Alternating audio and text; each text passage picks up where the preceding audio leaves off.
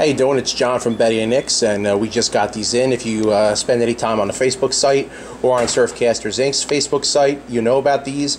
These are the uh, Bob Bott or Backlash Sport Fishing sand eel teasers. Um, they're tied on 7/0 limerick hooks, open eye, perfect for putting on the back of a blank Ava jig or a blank uh, Kastmaster or something like that, maybe even a heavy Krocodile.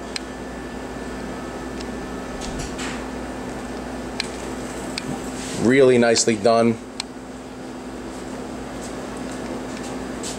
They're $6.99 each. And I'll start taking reservations on them now. I only have about three dozen. All right? Peace.